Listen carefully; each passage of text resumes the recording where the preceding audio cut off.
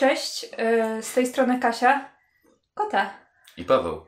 Czy powinnam powiedzieć kota, Kasia i Paweł? Mhm, Ale nieważne. No jak teraz kota się obraziła. Tak, teraz jest foch, ale patrz, już przeszło. To jest y, kot, który bardzo szybko zrezygnuje z, z udzielonego focha. E, I witamy Was tym triem e, na kanale Fundacji Schronisko dla Książek. I mamy dzisiaj dla Was film, w którym zastanawialiśmy się, czego nagrać. Tak, znaczy nasze plany były w sumie dosyć jasne, tylko Tak. potem rzeczywistość te plany bardzo chciała zmienić, Mhm. a konkretnie Ministerstwo Edukacji. Tak. E, Bo wybraliśmy dzisiaj e, lekturę do naszej e, serii o lekturach i to jest Stowarzyszenie Umarłych Poetów.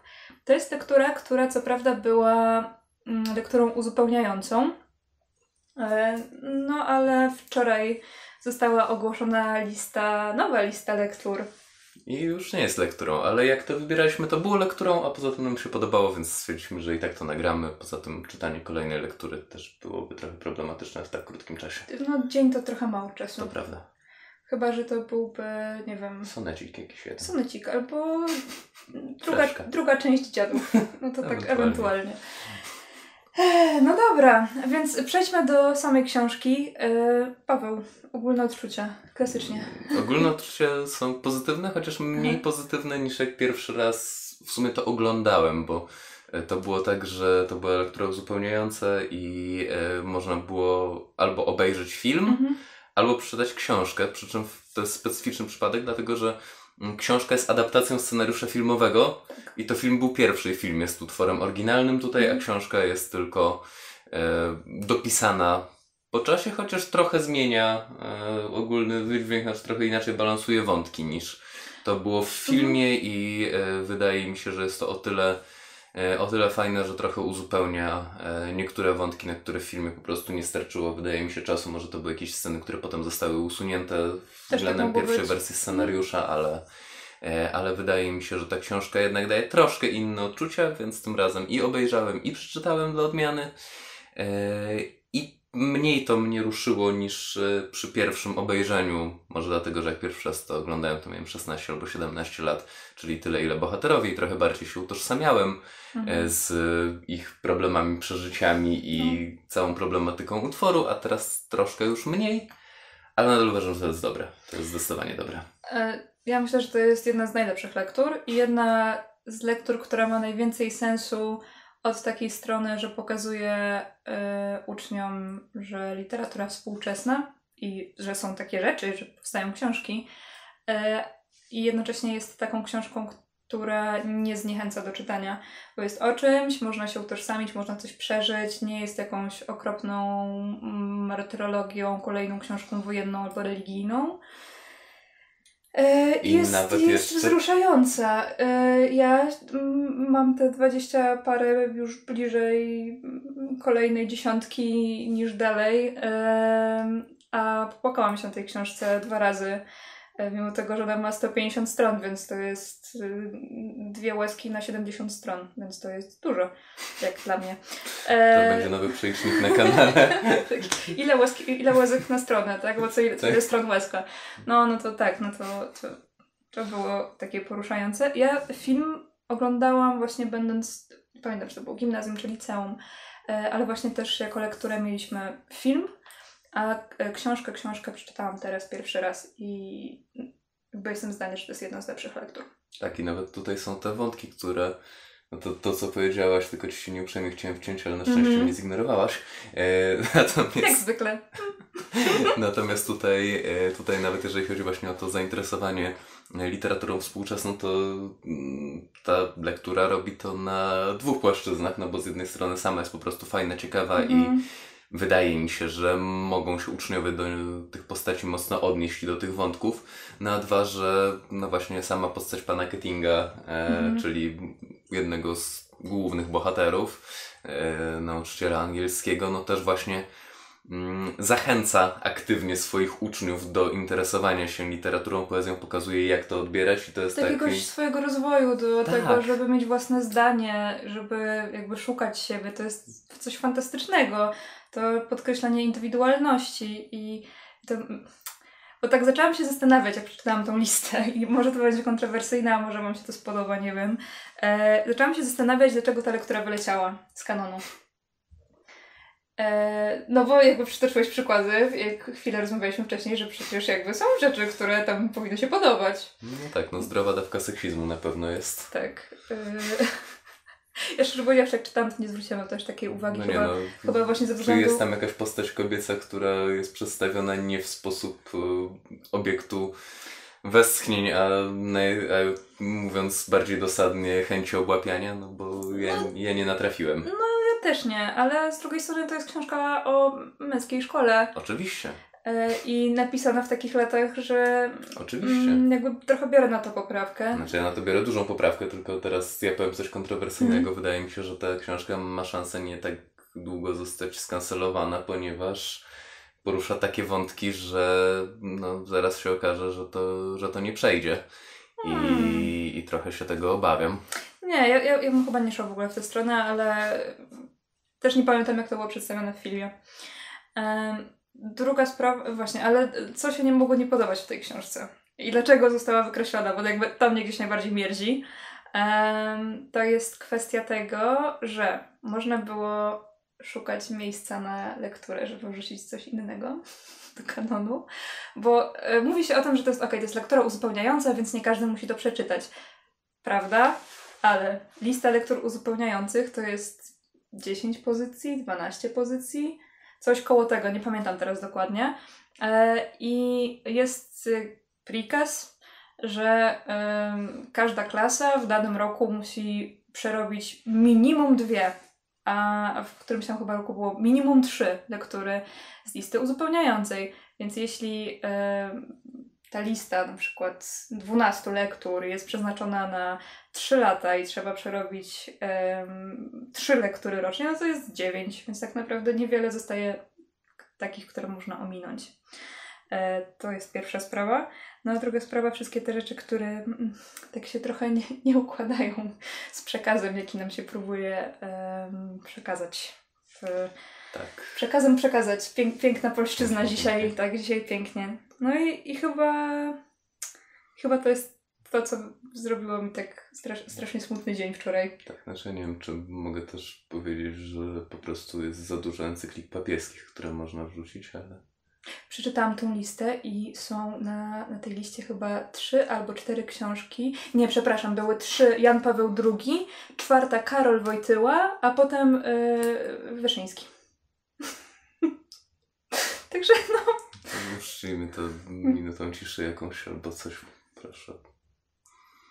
może wrzucimy wam jakiś filmik albo memik z kotkiem. Albo smutnego Bena Afflecka. No dobra, ale właśnie, y, jak myślisz, co y, mogło się w tej książce spodobać młodym czytelnikom, a jednocześnie się mogło nie spodobać naszej jakże cudownej i kochanej władzy? Znaczy, Nie wiem, ja tutaj też nie chcę za bardzo jechać na to, co się mogło spodobać, bądź nie spodobać władzy, bo, no bo też nie chcę z tego robić yy, moich politycznych e, przemyśleń, bo, bo to nie jest ten kanał i ta okazja. E, natomiast wydaje mi się, że to, co się na pewno mogło spodobać bardzo mm, odbiorcom, przynajmniej mnie się Mhm. podobało, jak byłem odbiorcą właśnie w tym wieku takim bardziej docelowym e, dla, dla tej lektury, no to było to poczucie wolności, to było to poczucie Tak. wspólnoty i poczucie tego, że robimy coś wbrew. e, Ale co nas, razem. co nas jara, co robimy Mhm. razem i co jest jakąś tam naszą tajemnicą. Oczywiście to nie jest odkrycie koła, no bo połowa literatury młodzieżowej jest na tym oparta.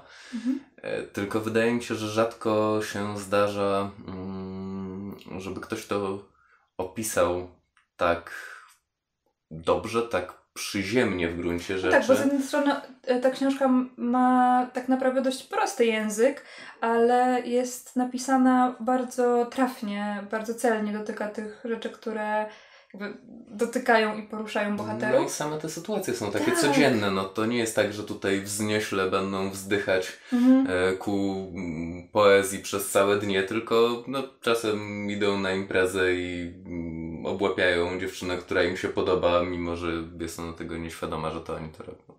Chyba jest właśnie jeden z tych wątków, które niekoniecznie mogą się podobać. Tak. E, No. natomiast e, czasem też po prostu jak mamy te męskie grono w jaskini jeszcze do tego po prostu, no co może być bardziej przemawiającego do 16-letniego chłopaka niż spotkanie z kumplami w jaskini i robienie zakazanych rzeczy.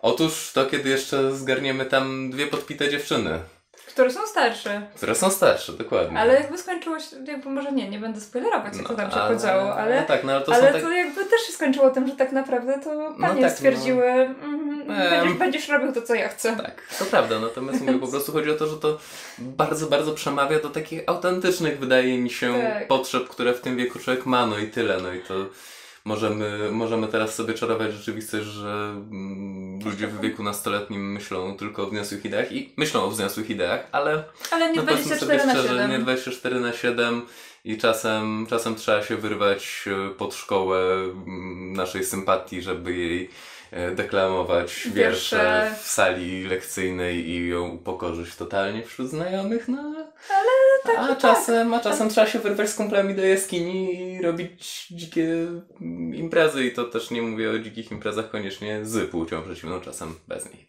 Tak. E, nie wiem, wydaje mi się, że jeszcze jedna taka kwestia na plus, która często jest na minus w innych książkach, e, takich kierowanych do młodzieży, to jest kwestia właśnie tego języka i tego, jak to jest wszystko skonstruowane. Że z jednej strony to nie jest wydumane, to jest realistyczne, ale w innych książkach często jest coś takiego, że e, to jest na siłę stylizowane na to, że to ma być takie młodzieżowe, ale ludzie tak nie rozmawiają i jakby ała, to boli. Tutaj totalnie takiego wrażenia nie ma, więc to I to Mm, uważam, mocny że jeszcze tak, chociaż y, też nie wiem, bo tutaj dla mnie dużą różnicą było to, że film oglądałem po angielsku w oryginale, Mhm. e, a książkę czytałem po polsku i to jeszcze trzeba brać poprawkę na to, że to jest 59 rok, więc też ten język był trochę inny. E, Natomiast y, uważam, że to jest chyba to samo tłumaczenie, którego E, to ja jest słuchałem. wydanie e, 2000. Tak, ale to wydaje mi się, że z tego samego wydania ja słuchałem audiobooka, Mhm. bo akurat tej książki Pierwsze wydanie nie ukazało się w 1994. Tak, natomiast film jest z 89, a akcja toczy się w 59. Tak. E, I trzeba brać na to poprawkę językowo, że nie mówimy tu o języku współczesnym, tylko o języku Mhm. sprzed już w tej chwili 60 lat. Mm, Natomiast po angielsku wydaje mi się, że ten język, a może po prostu ja słabo znam angielski, e, jest znacznie lepiej oddany niż w polskim tłumaczeniu i to jest jakieś takie wdzięczniejsze, chociaż no, tak czy inaczej to, to działa dobrze, tylko Mhm. po prostu wydaje mi się, że po angielsku lepiej. Musiałabym wrócić do tej angielskiej wersji, bo e, no, czytałam tym razem tylko po prostu przeczytałam książkę, e, więc ciężko mi się wypowiedzieć na ten temat.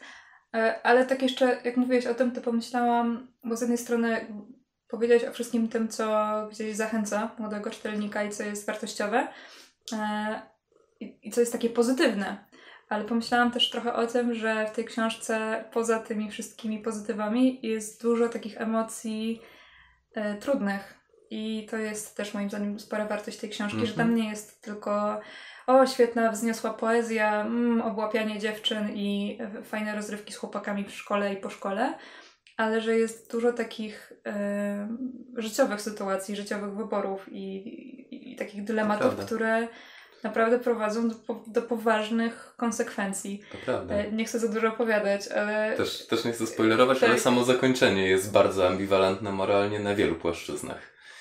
E, mówisz to, o kulminacji czy o zakończeniu zakończeniu? Znaczy, no dobra, o kulminacji, no ale to już jest przedostatni rozdział. Mhm. No i potem zakończenie jest jeszcze bardziej. E, Tak. no, znaczy ja słyszałam takie interpretacje, e, bo znalazłam jedno opracowanie tej lektury Mhm. w internecie, e, które zrobiło mi się przykro, jak ta pani to powiedziała, w taki sposób, że Keating e, za wcześnie wystawiał tak młodych chłopców na, na to, żeby byli indywidualistami, żeby myśleli samodzielnie, bo oni po prostu byli za młodzi, żeby robić takie No rzeczy. Tak, no, dokładnie, dokładnie to samo powiedział dyrektor Nolan Tak. w e, samej książce, znaczy w samym filmie. W No i książce. wiemy, jak to się skończyło. Wy nie wiem, czy wiecie, ale polecam Wam się dowiedzieć. Tak, znaczy, jeżeli ktoś, myślę, że tutaj nie będziemy spoilerować bardzo naszej Mhm. opinii, no bo słyszycie też po prostu ton, e, ton w jakim się wypowiadamy, no po w prostu polecamy to. powiedziałam, że to jest najlepsza lektura. O, jedna obejrzyjcie, przeczytajcie, tak, to, to, to, to po prostu to trzeba zrobić, potem możecie wrócić do tego filmiku albo nie wracać, ale po prostu obejrzyjcie to, przeczytajcie to, Mhm. to więcej, więcej wam to da niż nasze gadanie.